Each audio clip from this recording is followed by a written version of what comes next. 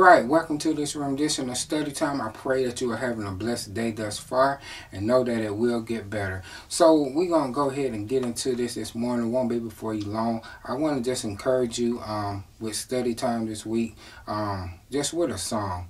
A lot of people need encouragement at the moment, so um, as I was in study last night, this song came across my mind. I haven't heard it in a while, but it came across my mind and I said, wow, let me just share this for study time for today. And so I pray that this song bless you. The name of the song, or I think it's the name of the song. If it's not, you know what I'm talking about. But show yourself mighty. Um, and some of the words is show yourself mighty, show yourself strong, show yourself mighty in the midst of the storm. When times are troubled, he will give us a song. Show yourself mighty, show yourself strong. So no matter what you may be going through at this moment, God can show himself mighty and he can show himself strong in your relationship. So I pray that this song bless you and help you through your day. Have a great one. Bye. I thank God for this song. This song has been an inspiration to me. It helped me go through some things, and I want to encourage you today. I know it looks rough. I know it looks tough. Listen to these words. Hang on in there. You're going to make it. Shh, listen to this. Show yourself mighty. Show yourself strong. Show yourself awesome in the midst of the storm. For in the time of trouble, He will give us a song. So show yourself mighty and show yourself strong. Strong. Everybody Hey. say, Show yourself mighty, yeah. show yourself strong, Show yourself awesome show yourself awesome. in the midst of the storm. Midst of the storm, In the time. time of trouble, He will give. give us a song. Everybody Show. say, Show yourself mighty, show yourself show strong. yourself strong, Show yourself show mighty. yourself mighty, Show Show yourself. yourself. show yourself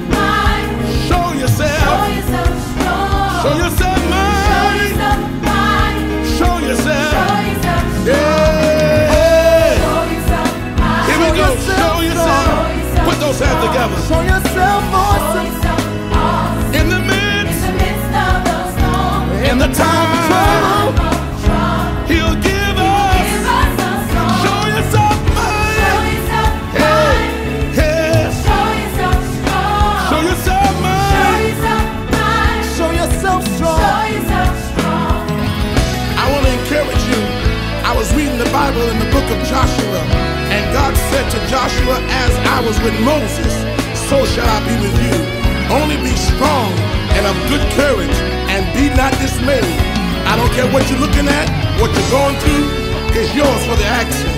Weeping may endure for a night, but joy cometh in the morning. Encourage yourself. Oh,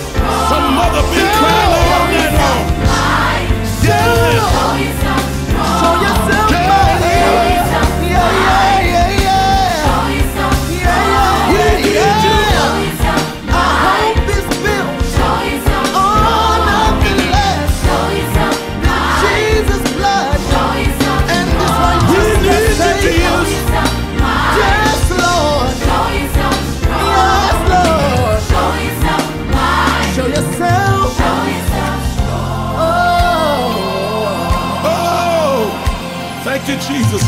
He's going to do it. He's going to do it. I say he's going to do it. Do I have a witness in the building? Won't you raise your hand? He's going to do it. Before you get home tonight, before you wake up in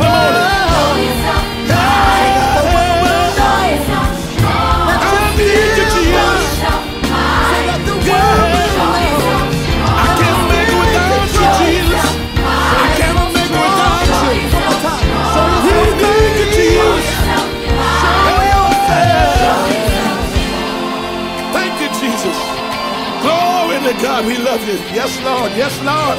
Come on, give him your best praise. Somebody give him your best praise. Come on, give him your best praise.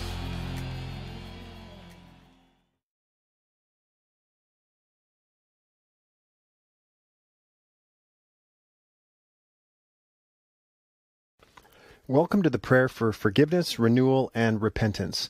This is simply a video I've put together where I like to pray for anyone within the sound of my voice. All I ask you to do is to agree with me as we seek our Heavenly Father together. Please continue to meditate on this prayer for yourself, speak it daily, or listen to this video over and over again, and allow the Word of God concerning forgiveness, renewal, and repentance of sins to reach deep into your spirit. Let us pray. Heavenly Father, we gather together here online and come into agreement in the wonderful and powerful name of Jesus. Where two or more are gathered, there you shall surely be, and anything we agree upon as touching you will surely do. The Bible says that if there's any unforgiveness, that it should be dealt with before praying. Therefore, we release any anger, bad feelings, resentment, or any other wrong attitude before you now. We lay it at your feet, and we release and forgive those who have wronged us. I lift up those watching this video, and we come into agreement and lift up forgiveness, renewal, and repentance. Father, your word says that if we ask for mercy and for forgiveness, you will forgive us and cleanse us from all unrighteousness. Purely on the basis of the promises of forgiveness in your word, with all feeling aside, we believe that the listener is forgiven. Humbly they come before your throne to receive this grace and mercy. Help the listener to forgive themselves and let the past go. We declare in agreement that Jesus is Lord over the listener, and if they believe in their heart that you raised him from the dead, they will be saved, with heaven being their eternal home. We receive it and we praise you, Father. Help the listener's unbelief. Their slate is wiped clean right now. In the face of any feeling of guilt and unworthiness, the listener receives their forgiveness from you. The guilt is for leaving and the sin is removed because of your love for them. You have forgiven their sins completely. They are blessed. God in heaven, you have forgiven them because of what Jesus has done. It is not about what they do or don't do. It is by grace through faith that they have forgiveness. They cannot earn it, but you have freely given forgiveness to them because they asked. Praise the Lord. Renew them right now by your Spirit in Jesus' name. We speak refreshing over their mind, will, emotions, and body right now in Jesus' name. You, Father, are holding nothing against them. You, Father, are not holding anything back from them. You chose the listener in Christ before the foundation of the world that they should be holy and blameless in your sight. Thanks be to you. In Jesus they have redemption, deliverance, and salvation through his blood, the remission, forgiveness of their offenses, shortcomings, and trespasses, in accordance with the riches and the generosity of your gracious favor. Father, the listener has received your Son Jesus. They believe in his name. Through Jesus, you have given them the right to become your child. Thank you for forgiving them entirely and absolving them from all guilt. They are more than conquerors through the blood of Jesus. They are set free from the past in Jesus' name. Thank you, Lord. In Jesus' name we pray. Amen.